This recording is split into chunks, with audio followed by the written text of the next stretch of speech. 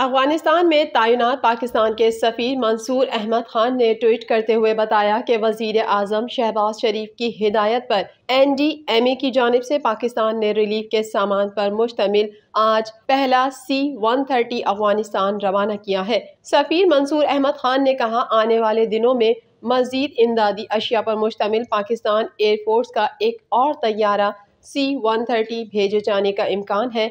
इमदादी सामान मज़ार शरीफ में अगवान डिजास्टर रिलीफ तंजीमों को हमारे नाजमुल उमूर की तरफ़ से दिया जाएगा। सामान में हालिया सैलाब से मुतासर लोगों के लिए खैमों, खाने पीने की अशिया और अद्वियात शामिल हैं। उन्होंने कहा, वज़ीर आज़म शहबाज शरीफ की हिदायत पर अफ़गानिस्तान में सैलाब मुतासरीन के लिए पाकिस्तान की तरफ़ से इमदादी अशिया की पहली खेप पाकिस्तान एयरफोर्स के खसूसी तैयारे के ज़रिए आज अफ़गानिस्तान पहुँचा दी गई है। इमदादी अशिया में सौ खेमे दो टन आटा, एक टन चावल 450 किलो चीनी शामिल है। इमदादी अशिया की दूसरी खेप 9 मई को रवाना होगी। दूसरी जानब वज़ीर अजम शहबाज शरीफ ने कहा, अफ़गानिस्तान में सैलाब जदगान की इमदाद के लिए पाकिस्तान हर मुमकिन कोशिश करेगा। एफ़ आई ए ने पैका सेशन 20 को गैर आइनी करार देने का इस्लामाबाद हाई कोर्ट का हुक्मनामा सुप्रीम कोर्ट में चैलेंज कर दिया है, जिसमें मौका पेश किया गया है कि किसी कानूनी जवाब के बगैर इस्लामाबाद हाई कोर्ट ने पी एफ़ यू जे को रिलीफ दिया है। इस्लामाबाद हाई कोर्ट ने आइन के आर्टिकल 19 और 19 ए की गलत तशरी की है। एफ़ आई ए की सुप्रीम कोर्ट में दी गई दरख्वास्त में इस्तः करते हुए कहा गया है कि इस्लामाबाद हाई कोर्ट ने पैका के सेशन 20 को बगैर किसी कानूनी जवाब के गैर फाल किया है। सेक्शन 20 के गैर फाल होने से कानून शिकनों को कानून की खिलाफ वर्जी करने की तरगीब मिलेगी। आठ अप्रैल 2022 का इस्लामाबाद हाई कोर्ट का फैसला मअतल किया जाए। वाज रहे कि गुजशत हुकूमत में पैका तरमीमी ऑर्डीनेंस जारी किया गया था, जिसको पी बी ए और दीगर सहाफ़ती तंजीमों ने इस्लामाबाद हाई कोर्ट में चैलेंज किया और पैका के सेक्शन 20 के तहत एफ़ आई ए के बेजा इख्तियार को भी चैलेंज किया गया था। केस के अदालती फैसले में हितक इज़्ज़त को काबिल दस्त अंदाजी जुर्म बनाने वाली पैका शेख पीस में कलदम करार दे दी गई थी, जबकि पैका कानून पर एफ़ आई ए का इख्तियार से तजावज़ पर इंक्वायरी का हुक्म दे दिया गया था, जबकि एफ़ आई ए की जानब से पैका सेक्शन बीस के तहत दर्ज मुकदमा भी खारिज कर दिए गए थे।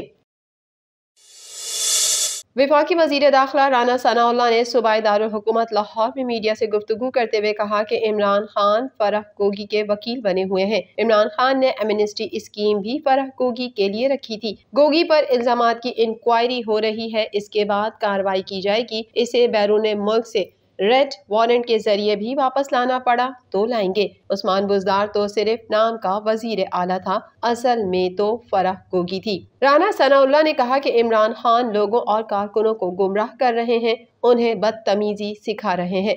मैं इमरान खान को आखिरी दफ़ा कहना चाहता हूँ कि अगर तुम इस तरह की हरकत से बाज ना आए तो जो तुम करोगे उसका सामना तुम लोगों को भी करना पड़ेगा। अगर कहीं किसी के साथ बदतमीजी हुई तो दूसरे कारकुन भी यही करेंगे। राना सनाउल्ला ने कहा कि तुम्हारे कारकुनों ने दूसरे सियासतदानों को बुरा भला कहा तो हमारे कारकुन तुम्हारे बर्गर यूथियों की दुर्गत बना देंगे। शेख रशीद की खूनी लॉन्ग मार्च से मुतालिक बयान पर वज़ीर दाखिला ने कहा कि ये लोग इसी तरह अनारकी फैलाने की कोशिश कर रहे हैं। पिंडी का शैतान एक तरफ़ तो कहता है कि जेल मेरा ससुराल और हथकड़ी सेवर है। दूसरी तरफ़ जमानतें करवाता फिरता है। इसने हाई कोर्ट से जमानत क्यों करवाई? तुम कहते हो लॉन्ग मार्च खूनी होगा। अगर तुमने अपना बयान वापस नहीं दिया, उस पर मुआजरत ना की और उसे पुरमन लॉन्ग मार्च ना कहा तो मैं तुम्हें घर से निकलने नहीं दूँगा। हुकूमत को यकीन दहानी कराओ कि लॉन्ग मार्च पुरमन होगा।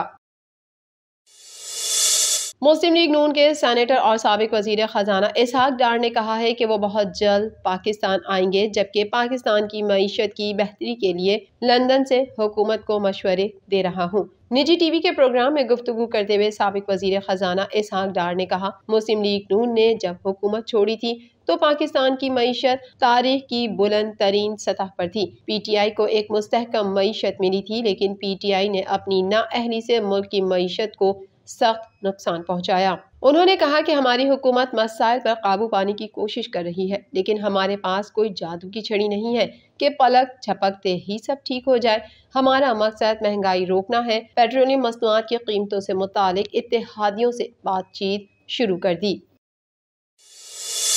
पसंद की शादी करने वाली दुआ जहरा के वाले सैयद मेहदी अली काजमी ने सिंध हाई कोर्ट में दरख्वास्त दायर कर दी है, जिसमें मौका पेश किया है कि 16 अप्रैल को रात साढ़े बारह बजे मेरी अहलिया ने बताया कि हमारी बेटी दुआ जहरा लापता है। हमने कराची के अल्फला थाने जाकर अपनी बेटी के अगवा का मुकदमा नामालूम अफराद के खिलाफ दर्ज करवाया।